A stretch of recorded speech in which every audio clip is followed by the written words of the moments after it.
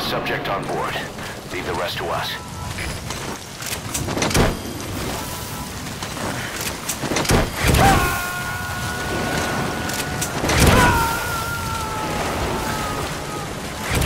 He's coming too. Roger that.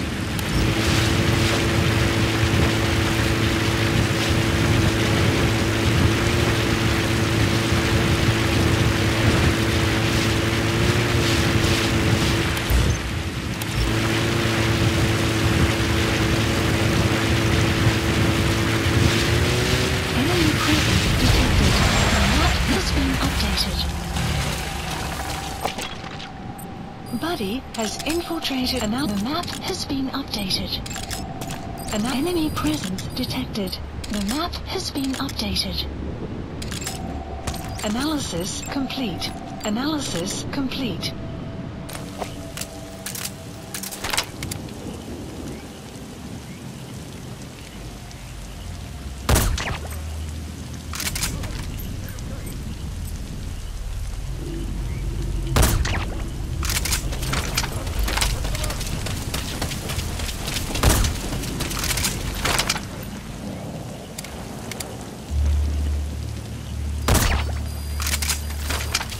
The map has been updated.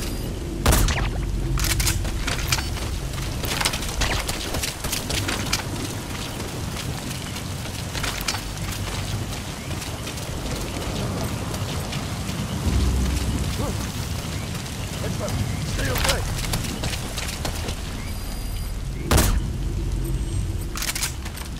Fire!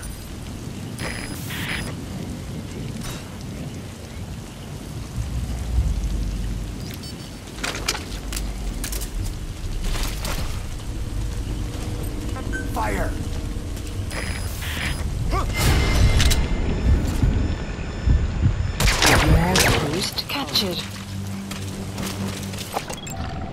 Analysis complete.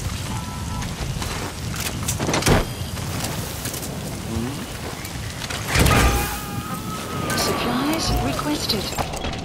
Analysis complete. You gotta extract him. Supply drop complete.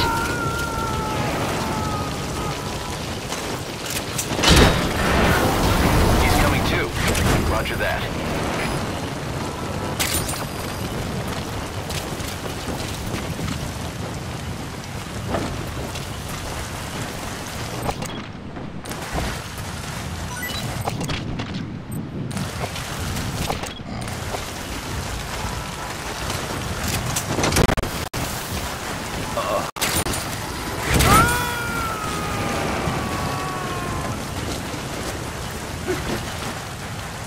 Subject on board.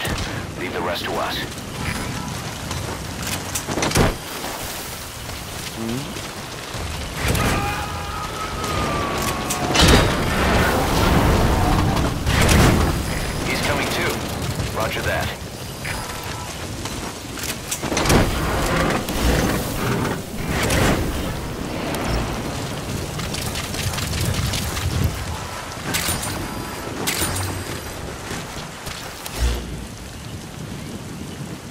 clouds approaching.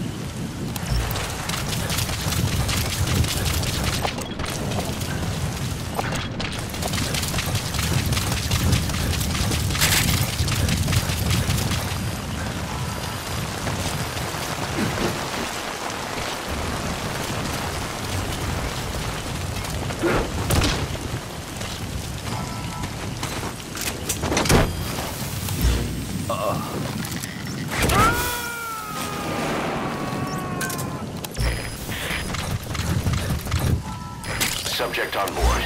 Leave the rest to us.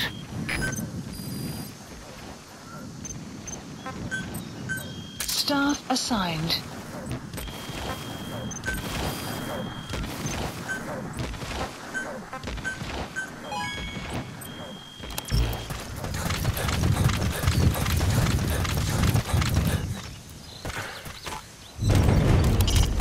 When you want to begin a mission, open your iDroid and select it from the mission list. I sent a list of selectable missions to your iDroid. They're all jobs that only you can handle.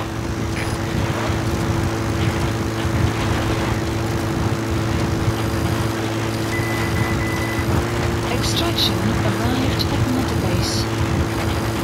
Buddy has infiltrated and the map has been updated.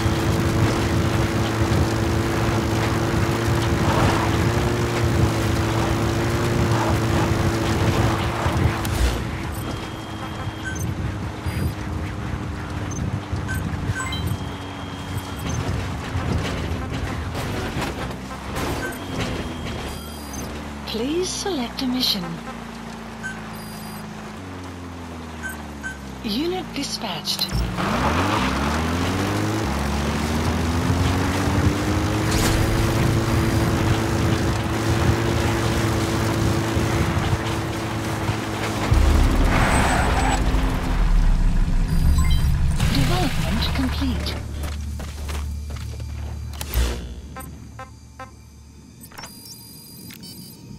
The map has been updated.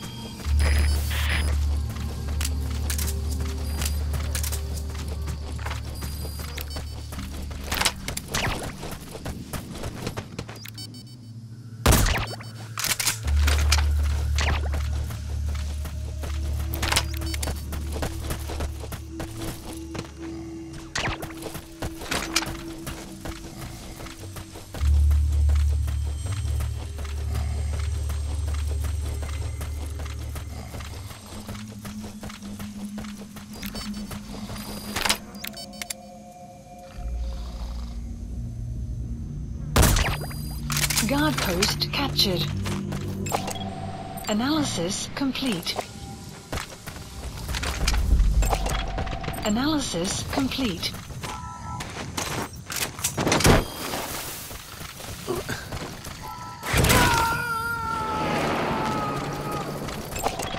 Analysis complete. He's coming too. Roger that. You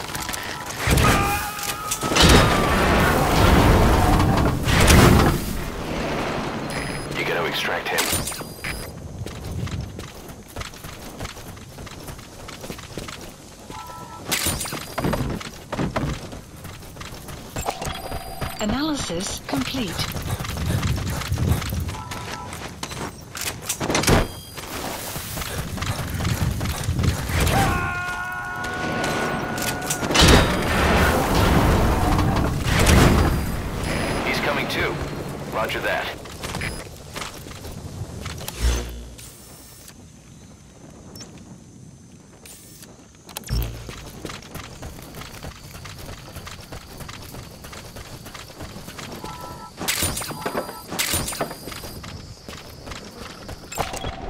Analysis complete.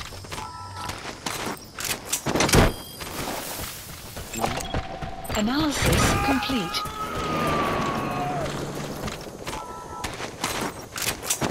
You gotta extract him.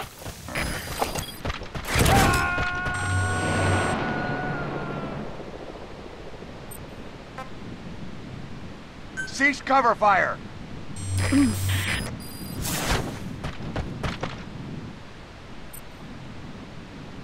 Quiet.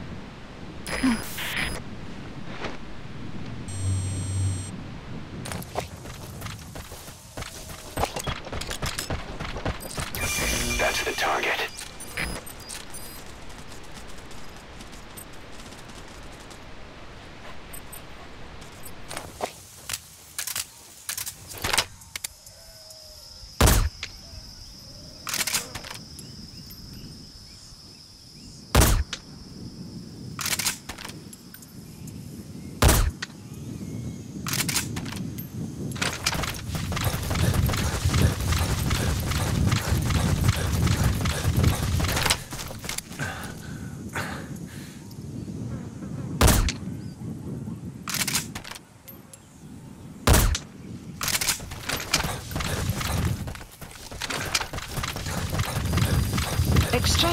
Arrived at Mother Base.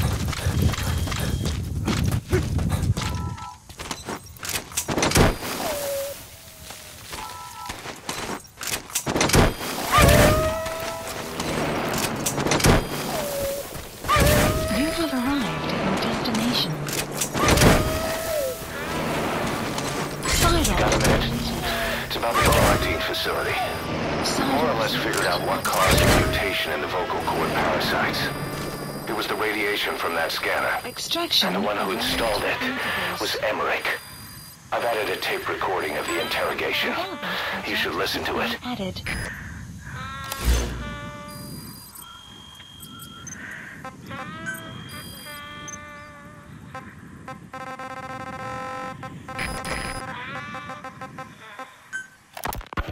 Well, Doctor, I have the report on the incident at the quarantine facility. Assuming the vocal cord parasite evolved, I'm sorry, underwent a mutation. The only plausible explanations are exposure to some high concentration mutagen or radiation. As you know, some of the staff at the quarantine facility were infected with the parasites. The Wolbachia prevented them from copulating, but the parasites themselves can't be removed from their host's vocal cords. Once you're infected with Skullface's parting gift, you're stuck with it. The researchers regularly used X-ray equipment to monitor the parasites in their throats. No problem there, they kept a close eye on the radiation doses. But that equipment didn't just give off X-rays. It was also emitting beta rays. Even though that's unnecessary for the scans. See, beta rays have far worse effects on DNA than X rays.